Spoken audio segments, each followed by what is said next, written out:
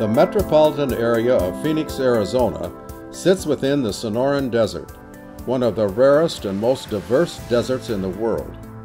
How can we preserve this beautiful and vital part of the Southwest within one of the nation's fastest growing metro areas? Lying along the western edge of the urban environment, the White Tank Mountains stand in the path of this rapid continuing expansion. Currently, the White Tanks, considered the crown jewel of the West Valley, are among the best conserved natural areas in the region. They have maintained their ecological balance due to the existence of mostly undisturbed wildlife migration corridors that connect the White Tanks to the Belmont and Vulture Mountain ranges to the southwest and northwest, and to the Hassayampa River Basin. These mountains are teeming with wildlife that move throughout the region, seeking mates, dragging seeds of flora, and basically living the lives they were meant to.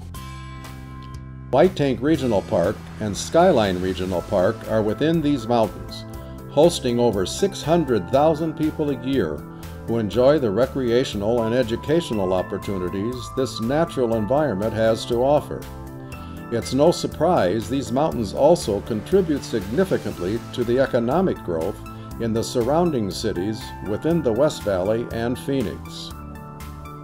The migratory corridors lie on the west flank of the range within the city of Buckeye, 640 square miles of basically a clean slate.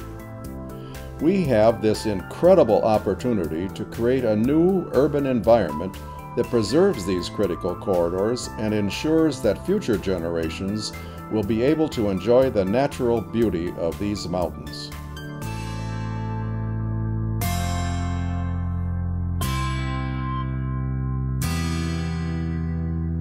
Our challenge is to develop and responsibly manage the growth of this area with new and innovative methods.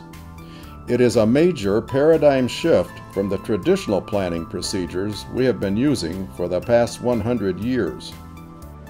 We are asking you to join us and our many partners as we come together to save this crown jewel of our community by financially supporting the White Tank Mountains Conservancy.